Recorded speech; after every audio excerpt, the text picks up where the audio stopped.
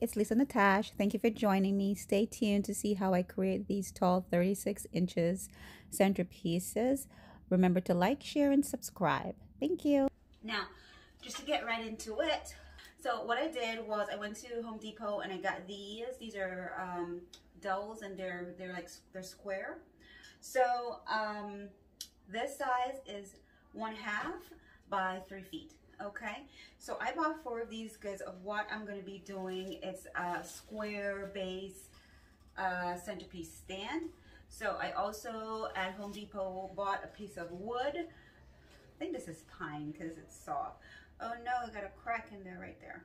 Anyway so I bought this. It was a longer longer piece and the the width of it is nine inches. And I had them um, the gentleman at Home Depot cut it nine by eight inches. So I end up getting like six pieces of these. So this is gonna be the base and I got something um, heavy. I think this is like half an inch or probably a little bit more than half inch, inch, um, inch thick. And I am going to do, like it's a little bend. Hmm, oh well.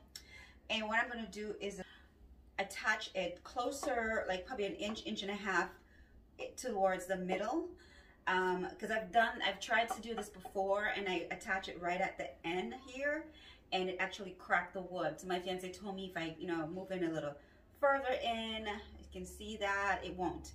And that's what I'm gonna be doing, okay? And I'm gonna use inch and a half screws, gonna go from the back here all the way through this piece. And you have to be careful you don't split the wood. And honestly, I'm gonna be getting help from my fiance because I'm not too much into drills. So he's gonna help me with that part of it, okay? Also, after I drill it, because I made one already, I actually made two already, two of the bags. So after I drill it and got everything all ready, I spray paint it with the Rust-Oleum Bright Coat Metallic Finish, Rich Shiny Finish Fast Dry. This is what it is, and I got this from Home Depot. Now, this is what it should look like. Well, actually, this one, when I start to make it, I drill a hole at the end, the corner here, and it cracked the wood. But I was gonna make it over, but I decided I'm not going to, I'm just gonna use this one. The other one is not dry yet. I moved the dowel away from the edge, so it's like an inch or inch and a half um, towards the middle, okay? And it looks, honestly, it's much better, it looks much better with um, that approach if you move it inward and it doesn't crack the wood. But anyway, this is still beautiful. All right, see how tall it is? Now the top here, I have um, a circular wood um, piece that I got from Amazon. I bought like four of these, so I decided to use this as my, as my top. And how I attach this on the top here, so I'm gonna put this away and um, get started on what the floral part of the centerpiece will be. Okay, so let's start with the floral part. I got these at Walmart, they were $6 and change and I got my plate here. It's a plastic plate. It's actually decorative K tray. That's what it is, a K tray, a cake tray. And I got this from the dollar store. Okay, so now I'm gonna go ahead and just add my greenery and it's gonna be a lot. I'm gonna add six of these to each of the, the centerpieces. I also have these these I got at Walmart. I got these and I really like how these look. And these I got from the Dollar Tree. You know, the Dollar Tree can have some gems. With, you know, I try to look for the ones that doesn't look as fake. When you add the nicer flowers to it, it kind of like camouflage it, you know. So I do um, have this and I'm gonna add these at the Dollar Tree. And other greenery I'm gonna do, use are these and I got these at uh, Walmart. I'm gonna do two bunch of these for each of them, okay? And these, I might just put three. It just depends on how much green is going on here. Love, love, love this little wispy looking one with the little ends right here. Walmart as well. And, um, and I really love these. And these were like $6 at Michael's. These um, from Ashland, these are from Michaels. I'm gonna add these as well. And these, these are from Michael as well. So let's go on and add these bad boys in there. And I'm just gonna open them up. And remember, I'm putting six in each um, centerpiece.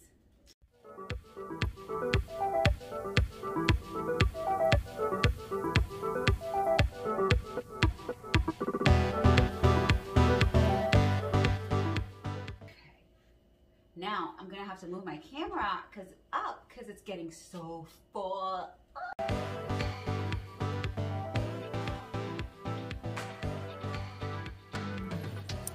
Now for the flowers. I got my flowers from, um, this one is from Walmart. These are hydrangeas. These are from, um, I'm gonna be adding some orchids. They're from, and my daughter Samaya is here. She said I should introduce her. And I got these from uh, Pioneer Wholesale. Um, and I also got, I got these little grass looking wispy looking ones from Walmart. And I got Pioneer Wholesale again, and a bunch of these from um, Michaels with some Cherry Blossom Michaels, okay? And I got these, I have to show you how pretty these are. And these are, um, what are they? They're cherry blossom? Cherry blossoms, look how pretty they are. Walmart, gems, told you, Walmart has some gems. And these were $5 I think it was five dollars. Yeah, Walmart. Walmart. Walmart. Walmart.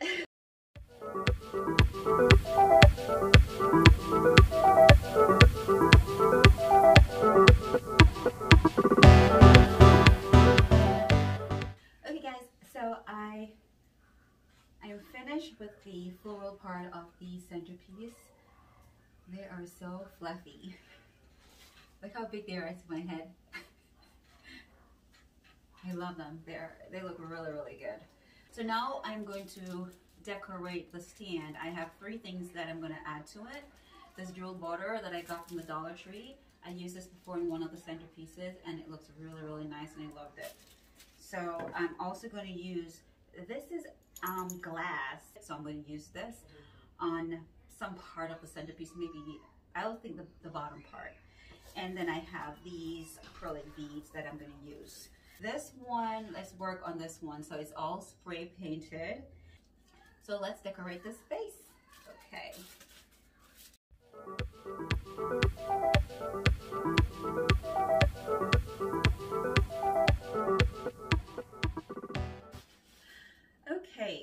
So I am almost done. Um, I had to basically stop because of uh, I ran out of stickers. So I have to um, go and get those another day. So I'm going to insert a clip at the end for you to see all the centerpieces together. I went ahead and I add the acrylic beads, okay? These are them and these beads, I'm going to have orbs hanging from them. I'm going to go ahead and do that right now.